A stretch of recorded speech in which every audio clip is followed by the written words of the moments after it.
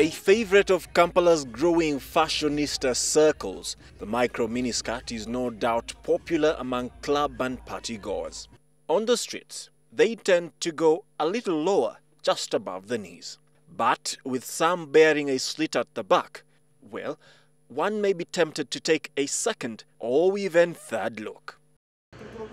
Ethics and Integrity Minister Father Simon Lokodo is of the school of thought that a law should be put in place to control this, in his words, version of pornography. Anything related to indecent dressing, therefore exposing certain parts of the anatomy of a person. All right? I call it, I call it pornographic and therefore uh, condemned on the basis of one's freedom to dress in what they wished provided they are comfortable. The minister, formerly a man of the cloth, argues that people are not films that can be watched by all and sundry. So I don't like this question of saying human rights, uh, maturity, etc. That is not, not correct. We are free in the limitations of not interfering with the freedom of others. Because when you go indecently on the streets of Kampala, you will become, what will you become? A cinema. That means there's something strange and out of place. That's why everybody is admiring and looking at you. He may claim to have the backing of a huge percentage of parliament. 90% of the members of parliament are very concerned and they want this bill passed yesterday. But what do MPs have to say about the minister's proposal? I think our people have got better issues to deal with than issues of scars and so on. I mean, tried. I mean, it was there, I think, during Amin's time. Those are issues of morals. I'm not allowed to portray personal views.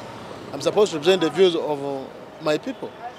Just like about the main skirt, if a told has been added in, within the bill, we may have to ask the public.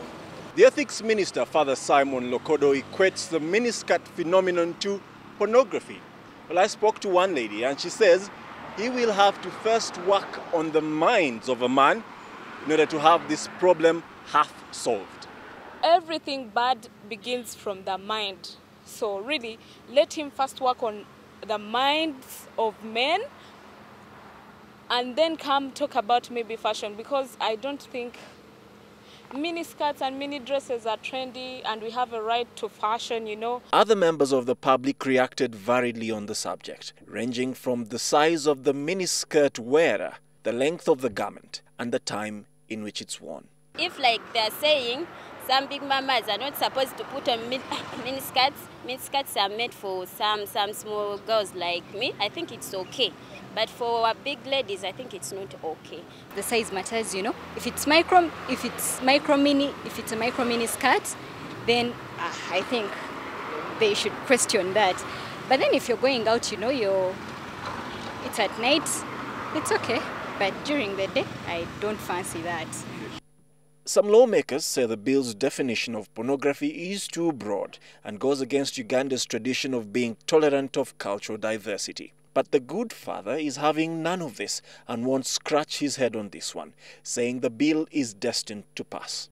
Say what you want to say, but we are coming up with a law that people should go back to their, you know, decent way of covering their bodies. Backed by the Deputy Attorney General, Fred Ruhindi, the bill, if passed, will have those found guilty face a fine of 10 million shillings or 7 to 15 years behind bars. Gabriel Epenu, NTV.